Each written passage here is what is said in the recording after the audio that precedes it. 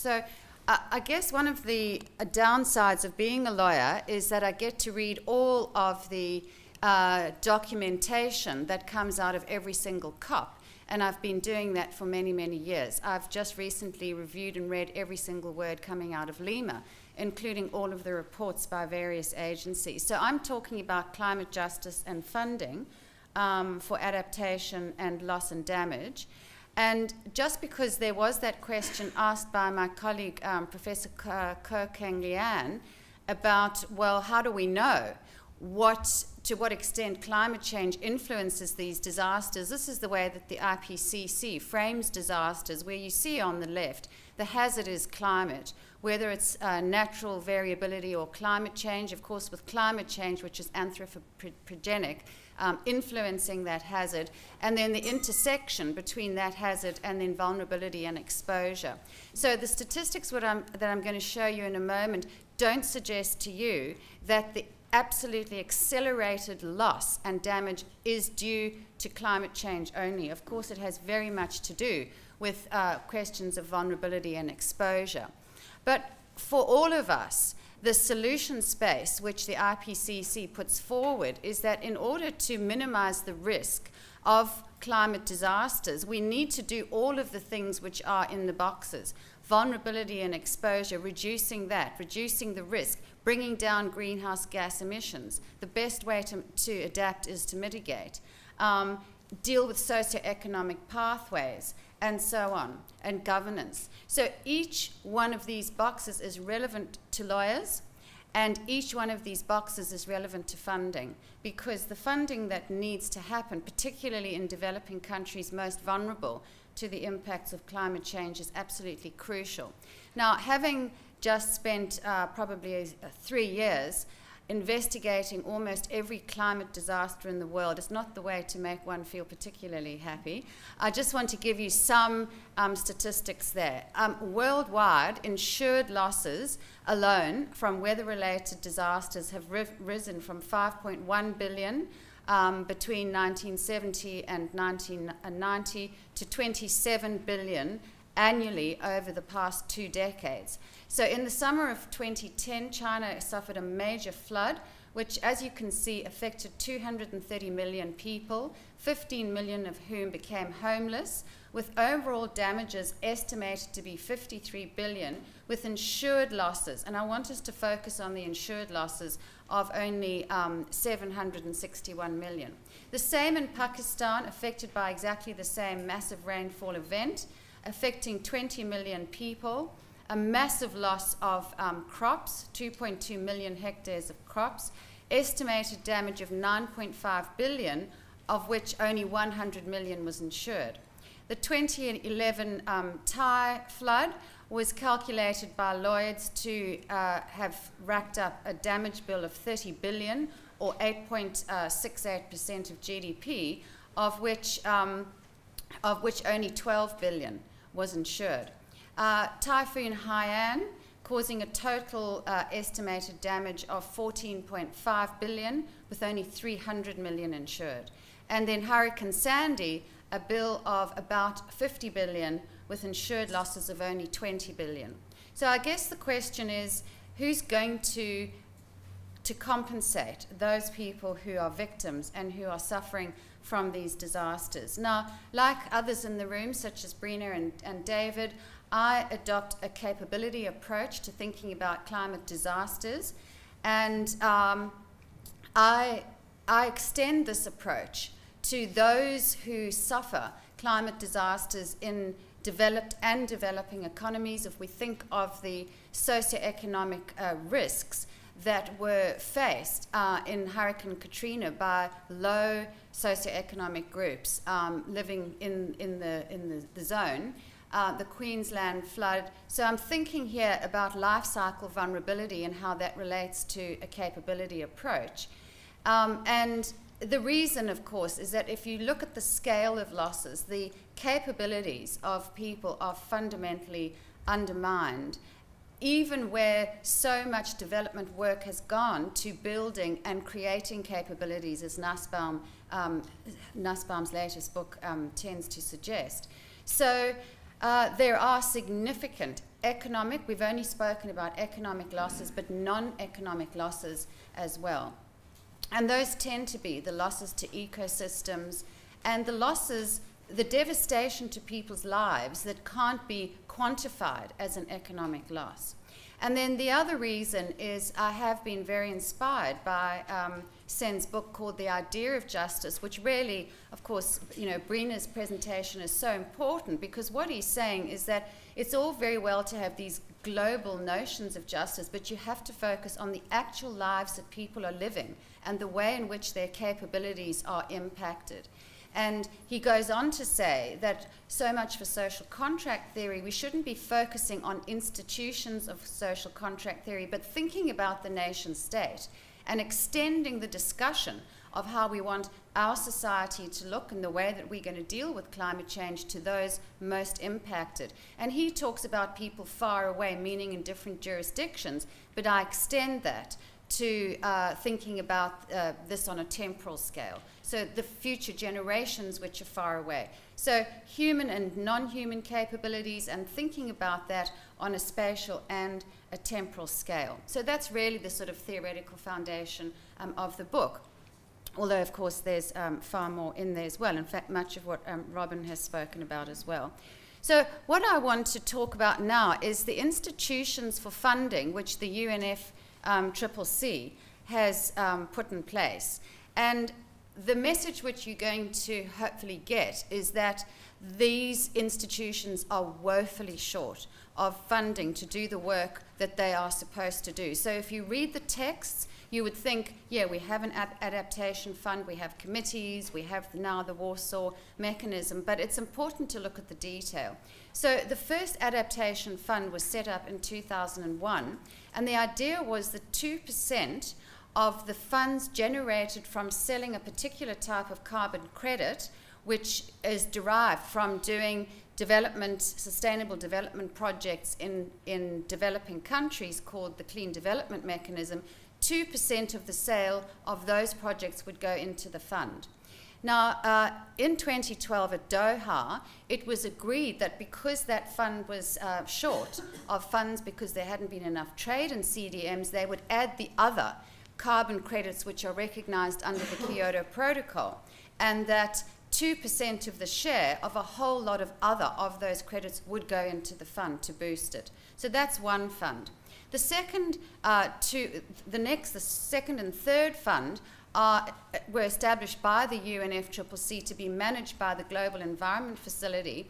That's the Least Developed Countries Fund to deal with adaptation planning and the Special Climate Change Fund uh, established in 2001 to finance a whole range of activities relating to adaptation, mitigation, and so on in developing countries. Now, um, in 2010 at Cancun, uh, a new fund was set up, the, the uh, Green Climate Fund, and the idea was that this fund will uh, bring together all of the funding from different countries and be the sort of agency that manages and distributes the funds. Now, the agreement that was forged in 2009 at Copenhagen, even though it wasn't binding, it was there as part of the accord, but the agreement in Cancun and now was that countries would pay $100 billion per year, developed countries, um, by 2020. So let's just investigate what's happening with these funds. Um, at Warsaw, the, the COP was uh, very concerned and it drew attention to the fact that if the adaptation fund is relying on these the sale of these carbon credits under the Kyoto Protocol, then we're in trouble because of the way that the price of these credits dropped dramatically. So if you can see there around 10 euros um, in 2010, dropping to 17 cents um, in December 2012. And so given this, the, the um, parties decided that they would set up a, by, um, a high-level ministerial dialogue starting in 2014 and ending in 2020 to think about how adaptation um, and loss and damage is going to be funded. So these are the reports that were put by the funds to Lima. Um, and in their reports, they basically said uh, the Adaptation Fund Board said the process of developing national adaptation plans isn't occurring at an acceptable rate. In fact, only 15 National Adaptation Fund implementing entities in developing countries have been accredited under the mechanism. Now, the Green Climate Fund also reported to Lima, and what they said was that they've only received $10.2 billion from contributing parties. Now, remember, they're supposed to be putting up 100 billion a year up to 2020. So the COP pleaded essentially with the GF, GCF to say you've got to accelerate the oper operationalization of these funds to LDCs, small island developing countries, and um, Africa. Now, the GEF also reported to the COP, and they said that, well, we've just got our sixth replenishment for the years 2014 to 2018, but the amount of money devoted to the climate change focal area has to be drastically diminished. And so we have to decrease our allocations to those countries most uh, vulnerable. And also, it reported on the two funds which it's managing, saying to do what we have to do under the least developed um, country fund, we need seven to 900 million. And as of September 2014, we've got no resources available to fund new programs. And the same with the, um, the Special Climate Change Fund, that uh, we're meeting less than 30% of demand, and we need four to 500 million. So in any case, even with the funding available, only 38% of LDCF and 32% of um, SCC funding, which has actually been committed, has been dispersed. So we have a funding problem. Um, and this is, these are official reports to the COP. Um, I just want to also have a look at the question of um, ODA. Where does ODA where, what role does ODA play in terms of disaster risk reduction? Well, it's been a very low priority um, over the past two, two decades, and you can see that even though $3 trillion has been dispersed, uh, only 106.7 billion to disasters and only 13 billion to um, disaster risk reduction.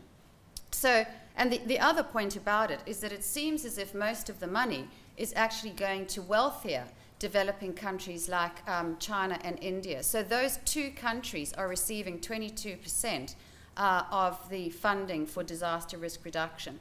And you can see by going through the slides there um, that uh, the top 30 recipients in developing countries have received 84.6% of funding um, and the rest, the other 118 countries, have had to share pretty much what's left over. So the question is then uh, so th there isn't enough money for adaptation um, in developing countries, uh, and in developed countries, not many countries are doing what they should on adaptation. So, what about post the disaster? There are victims. Government steps in. Um, but one of the questions which has been asked is um, whether or not governments have any political motivation to do it. Uh, and the answer is yes. They've got more motivation to pay after the event than to engage in adaptation because no one sees adaptation. But they love to see the government uh, going in there with aid and so on. But an even fundamental, um, more fundamental problem is the debate amongst legal academics whether or not government has any obligation to do this or not. So they're not engaging in adaptation, but one argument, the free market response, is that they have no uh, obligation under social contract theory to, to compensate the victims. So, you know, that's the idea that, well, it's all about self sufficiency, individualism, sort yourselves out, you prepare for the disaster. Um, small government doesn't invest in infrastructure, doesn't believe in social security, and so on. And in fact, I've read a paper where it's regarded as nothing more than charity if governments do decide to stump up the money, and it's a charity hazard. Um, or, of course, the social contract view that it's, uh, it's a duty of government to protect citizens and to look after them. So, for my book, I looked at a whole lot of different um, schemes. You can see them listed there. The most important point about these schemes is that the uh, post disaster payments are only for losses that are uninsured, they are only for economic losses, they are meager, and they are almost never budgeted for in advance, which means that government have to go, like after Hurricane Sandy, to Congress to plead for special appropriations, or like in the Queensland floods where everyone gets taxed. So then they're almost never budgeted for. In any case, in developing countries, you've got very exhausted tax bases. So my final point, and I was, um, you know, very disappointed to hear from Neil um, that uh, apparently climate disaster response funds aren't the way to go. I may have misunderstood you, but anyway, um, I have an idea for um, a climate disaster response fund because government, if you think of the institutions for compensation, we've looked at the limits of government, we've looked at the limits of insurance, we've looked at the limits of, well, we haven't, but we don't have time to look at the limits of tort law. Um, and so what I have done is to um, investigate in a huge amount of detail the legal liability regimes, strict legal liability regimes, which operate in respect of hazardous chemicals, major oil spills, asbestos, and nuclear accidents. And I've devised an idea for a climate um, disaster response fund only for those people in the least developed countries most impacted by climate change. And just a few points of similarity between all of these funds that resonate with the idea of making fossil fuel, um, those who enter fossil fuels into the global energy system liable. All the activities are, are hazardous. The government intervenes in all of these instances, either at international law, in fact, a lot at international law or domestically. A fund is established through a tax on upstream hazards such as uh, oil, coal, and gas. The entities which are liable to contribute are clearly identified. Uh, liability is strict. If you produce it, you're liable. Um, a pro rata on a pro rata basis. And the liability is often uh, based on unknown future claimants, like in asbestos cases. Each of these schemes has different uh, layers for when government pays, when the insurer steps in, and when the fund steps in. And also the types of damages can be easily categorized. What are you going to claim for under this fund? And there are even instances where environmental damage um, is claimed from is claimed for and compensated under the fund. So that paper is about to appear in the Transnational Environmental Law Journal, and um, of course that sort of discussion is in its early, very early stages for many of the reasons that we've discussed. So thanks very much.